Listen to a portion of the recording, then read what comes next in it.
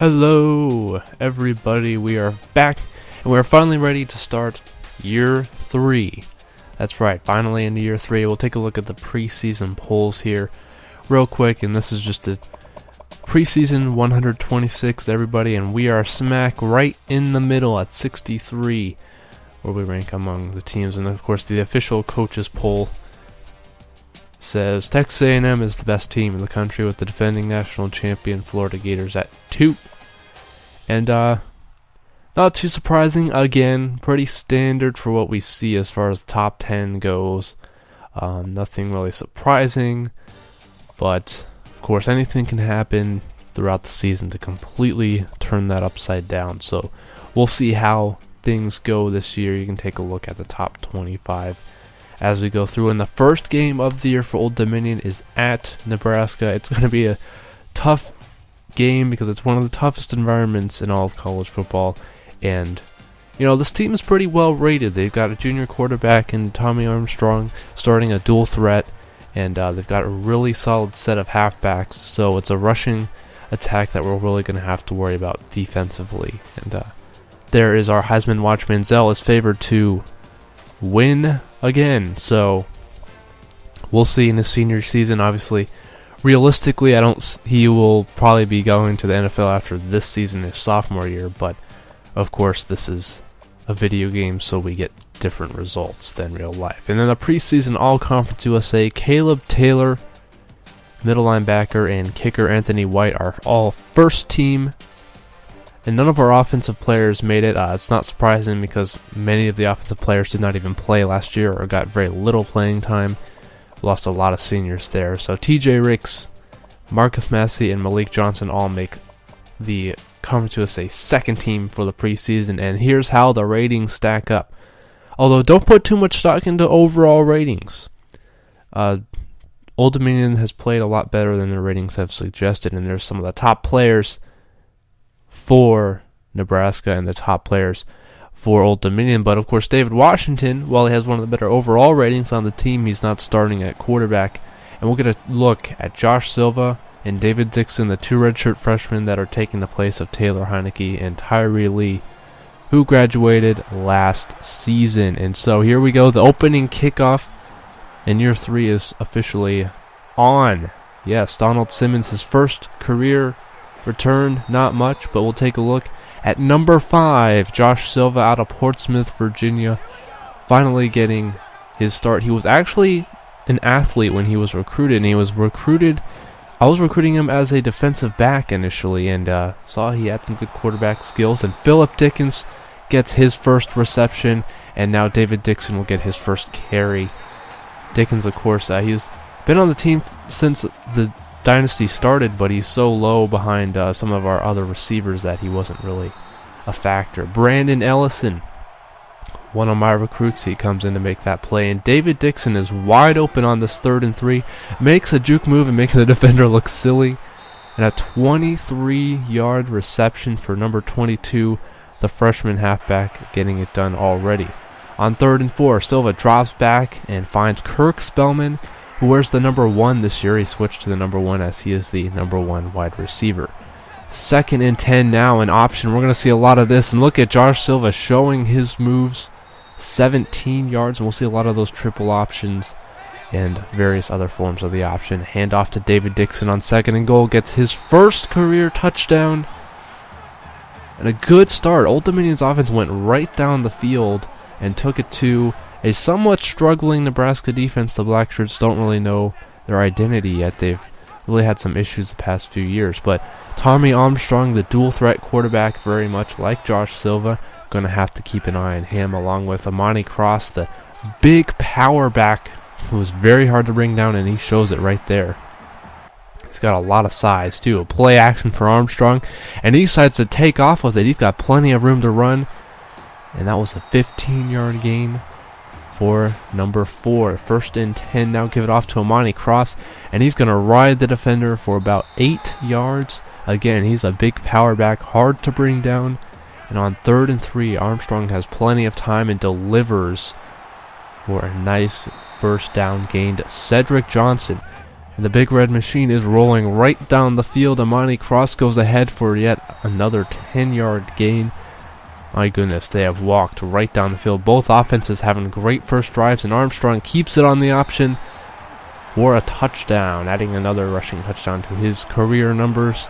So we're tied at seven. Both offenses, like I said, had some great first drives to start this game. And look at this throw. Precision to Kirk Spellman. Silva may be showing that he's a better passer than uh, his ratings may indicate. But on second and eight, that all goes away as Boaz Joseph, Boaz, Boaz Joseph, gets the interception. A, a bad throw intended for Philip Dickens. And so that is the first interception Josh Silva's career, and actually his first incompletion. He was perfect up to that point. Third and one, though, and look at Corey Taylor, the backup strong safety, comes in and knocks Imani Cross for a four yard loss. And so about a 50 yard field goal here, but not no problem. Nebraska has a history of having great kickers and continuing with that, a 50 yarder, and it's a 10 7 Nebraska lead here early in the second quarter. Now, things are looking interesting. I mean, Old Dominion is staying in this game. Their defense has not played bad, really, all things considered. In a 49 yard Donald Timmons return gives great field position for Silva and the ODU offense. And look at Dixon showing he has a little burst and he is fast. Third and one, if he can get some open space, he will burn defenses all year. And look at number 22 powering ahead for four yards as he can only get it done. Harvey Taylor comes in to give Dixon a breather. First and 10 for Josh Silva. Plenty of time to throw, and he finds Kevin Privett, another new name in the receiving corps. Another guy who's been on the team for several years at this point. First and 10. Silva's going to just take off using his legs and takes a little hit there, but he gets nine and he gets right back up. Third and one. Harvey Taylor in motion out of the pistol. A new formation we'll be seeing a lot of this year as well. Dixon gets an easy 11 yards. My goodness, this offense is looking pretty fantastic, guys. I don't know about you, but a Big Ten defense can't handle this. Kevin Privett sneaks in behind the defenders. They didn't see him. And the first touchdown pass of Josh Silva's career here. Look at this. He just snuck in behind the defense, caught them off guard by running the corner route. They must have thought he was going to go inside, and instead he cut it back outside. A beautiful toss for a touchdown here. And now third and six screenplay across gets met by who else but TJ Ricks, the junior linebacker, who I think will be an All American by next season. So, look at this. Second and 10. Silva running a little triple option. You'll see that out of the pistol, especially this year. Very, very good personnel to run that kind of offense. Silva can't find anybody open. The coverage is fantastic, and he just kind of whips this one into the defender's back because there was nothing on that play. The defense had that perfectly covered. And so, under two minutes to go, Nebraska is going to try and find a way to get in this game. So they're down by four. Well, they are in this game, but to try and take the lead back and get back into the uh, fray. But uh, they wouldn't be able to do anything else, and that would end the half. Old Dominion 14 10. Could they possibly pull off the unexpected on the road at a Big Ten? It hasn't happened very much against big time conference teams. Old Dominion struggled against teams from the uh, BCS conferences, but there the passing and rushing yardage very even for Old Dominion. Only the one turnover has been uh, kind of the one downfall of the game so far, but they are leading 14-10, so things aren't going well. And you have to wonder, what does Nebraska got to do to try and take that lead back? Well, they need to run the ball more because that's what they do well. And that's what was doing so well on the one drive that they did score the touchdown. So you got to keep giving it to Cross and give Armstrong opportunities. And look at Cross making some big moves for almost 20 yards right around midfield, second and three. And they're just going to keep giving it to him because it's working. Why not? Why go away from what works? So first and 10, they run a shotgun with two backs, and it's Terrell Newby getting a of about 15 there. My goodness, they're doing exactly what I was saying. Gotta run the ball, but Armstrong on an option runs right into Caleb Taylor, and Taylor has seen way too many of that in his career to be fooled. And so Nebraska would settle for the field goal. It's a one point game, and Silva tosses it on the option to David Dixon. He is open, and actually, this play would count as a forward pass It counted as a passing play there, apparently because the pitch went forward. But nonetheless, it resulted in a giant gain and first and goal. Silva's going to run around, spin around, and throw it. Finds Kirk Spellman in the back of the end zone. And just like that, Silva is having quite a day to start his career. Look at that pass into the back of the end zone to Kirk Spellman. Maybe the only name that you guys recognize from that receiving corps uh, last year. Marcus Massey trying to bring down Tommy Armstrong. He's going to burst it all the way. 52 yards right down the field trying to get this game back in reach. It's an eight point game, so it's still one possession. But Larry Alston jumps the screen to Jordan Westerkamp, and Alston is all by himself. Does he have enough speed to outrun the wide receiver? Can he do it? He can't, but he gets inside the 10. That's Nebraska's first turnover of the day, and it could be a deadly one. On second and goal, the wishbone. We'll see this every once in a while. Silva on a little option. And he'll keep it for about four yards. Third and goal will set up in that big jumbo formation, and it's stopped. David Dixon gets stuffed right at the line of scrimmage.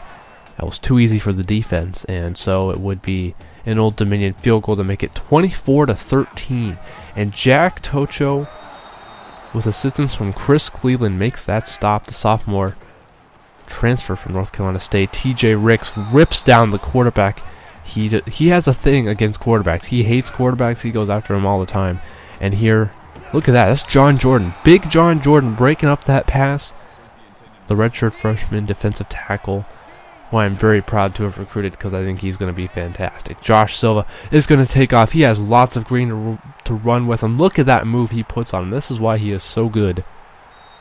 And he is outperforming, by the way, his expectations. I did not expect this quarterback to be this good right out the gates, especially on the road. And look at this. Brandon Nelson had it in the end zone.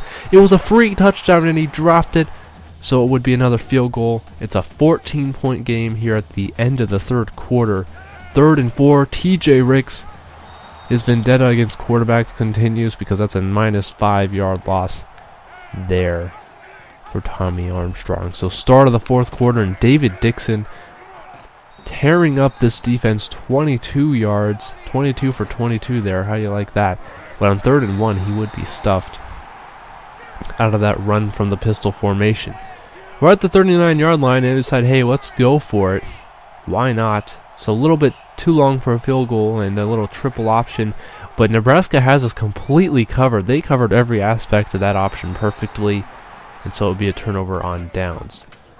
And so it's the Huskers' chance to try and get back in this game, and a 12 yard run by Armstrong is going to give them a little momentum here. Cross gets the handoff, and man, this defense all of a sudden just can't stop anything. But on second and 18, after a penalty and a loss, Armstrong is going to get completely destroyed by Justin Weddle and Marcus Massey. The underclassmen getting it done out of the defensive backfield. Third and 23. So Old Dominion drops all their defensive backs into coverage, and it's Travis Gonzalez, the senior cornerback, taking it down. My goodness. Did not expect this performance from Old Dominion. I did not honestly expect this to happen, but it's happening. And out of the wishbone again, a little triple option. Silva pitches it out to Dixon. This time it's not a forward pass. 13 yards. Dixon crosses 100 yards on his first game ever. And Old Dominion would pin Nebraska back way in their own territory. Armstrong, look at this catch. I wanted to highlight this catch by Taariq Allen because this was a beautiful catch. Look at this sideline awareness, gets those feet in bounds. Beautiful. Under a minute to go, Nebraska really trying to keep themselves in this game. They drove right down the field. Armstrong throwing, and this one's going to be picked off. Third interception, this one by Malik Johnson, the strong safety. And that's it. That's the game. Dominion somehow pulls off the big road win. I don't know how it happened, but David Dixon Look at that game he had. And Josh Silva had himself a great first game as well. Could not have gone any better for Old Dominion. So we start off the year 1 0. Surprisingly, I did not even expect that to happen, but it did.